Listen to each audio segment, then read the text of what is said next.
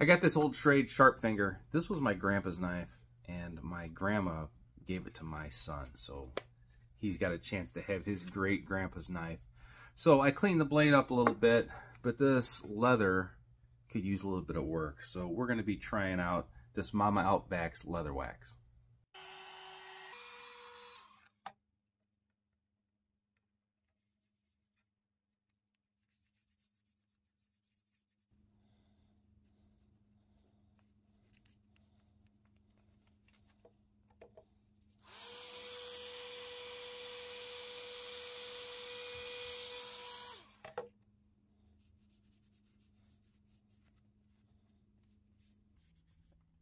So that sheath was in pretty bad shape, and that wax really makes it look a ton better. So it's preserved, and it's ready for a lifetime of use.